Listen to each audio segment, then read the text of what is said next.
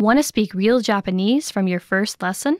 Sign up for your free lifetime account at JapanesePod101.com.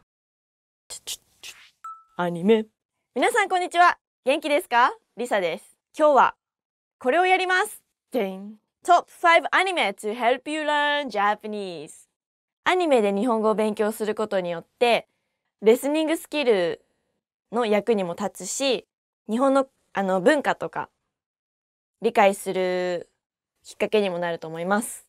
それと普通の語学学習よりも楽しんで勉強できるっていうのが一番いいんじゃないでしょうか。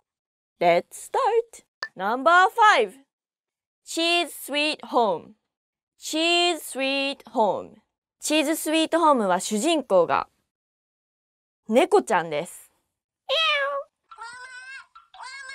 猫だけど日本語喋るの？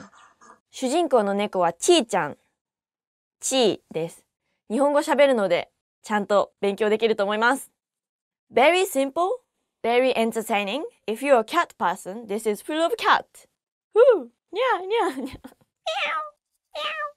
ー Number 4白熊カフェま、ま、ま、ま、ま、hello The show revolves around a polar white bear that quit his job and opened a cafeteria. It's a great source for a beginner Japanese student. Number 1, 2, 3, 3! Persona 4 The Animation これはもともとプレイステーションのゲームからアニメになりました。ストーリーの内容は街で起こる連続怪奇殺人事件の謎とあとその裏に潜む異界の存在に仲間たちと共に挑んでいくストーリーです。Number 2 Death Note. デスノート L これはドラマも結構日本では有名であの実は私アニメは見たことないんですけどドラマなら見たことあります。アニメじゃなくてもドラマでも日本語勉強できると思います。Number one. Number one.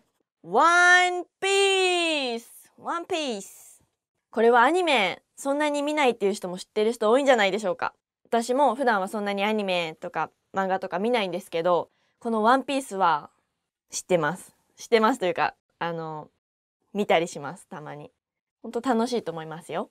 ぜひチェックしてみてください。えっとお話はルフィが海賊王を目指して仲間たちと共に冒険をするお話です。海賊王に俺はなる！以上。